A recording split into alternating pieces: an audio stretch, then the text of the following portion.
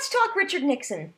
Now, R- Richard Nixon gets famous mostly in the 50s, believe it or not. He was vice president under President Eisenhower for a long time. he ran in 1960 against John F. Kennedy and lost. And it took a break from politics for a while after that, but came roaring back in 1968 to win the Republican nomination and won the election in 68 pretty easily and was reelected again in 72. If you look at the map for the election of 72 that I have in the PowerPoint, it was not a close election by any means. He won uh, pretty easily in 72, which might shock some of you, uh, but it was not a close election by any means. Now, Nixon, one of the things that he's most famous for is Vietnam, and we'll talk about that for a little bit.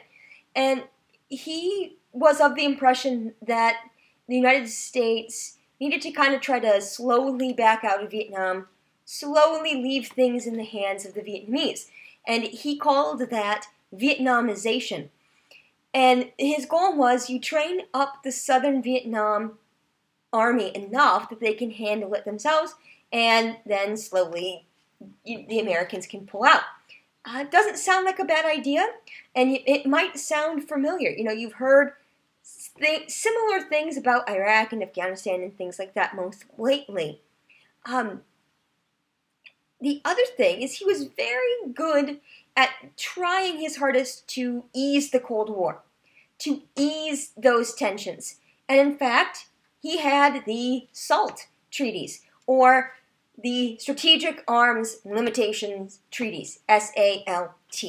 And it was an agreement that there would only be certain numbers of major weapons and arms and things like that, which is an effort to sort of ease the tension, ease the fears on both sides.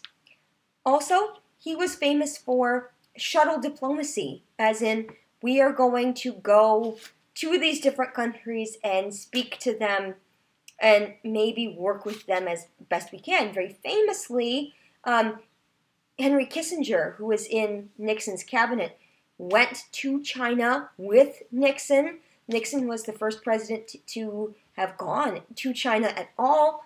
And so he did try that way.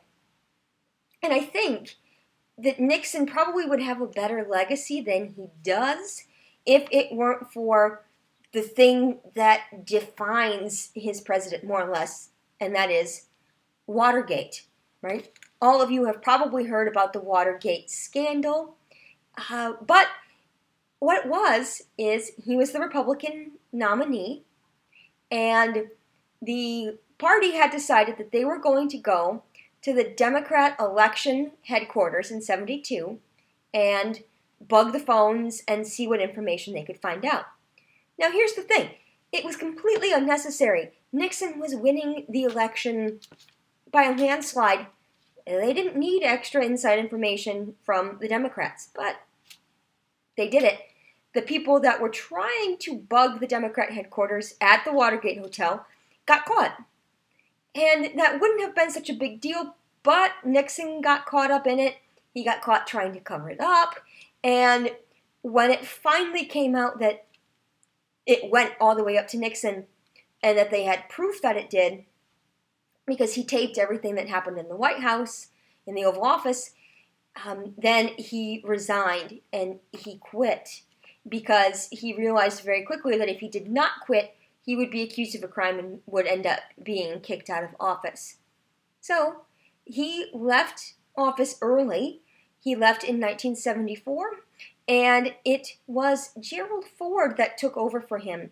And interestingly enough, Gerald Ford was not his vice president the whole time. His first vice president was Spiro Agnew.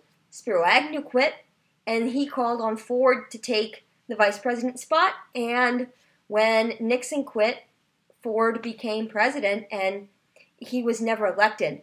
So it was a very weird situation. So, for more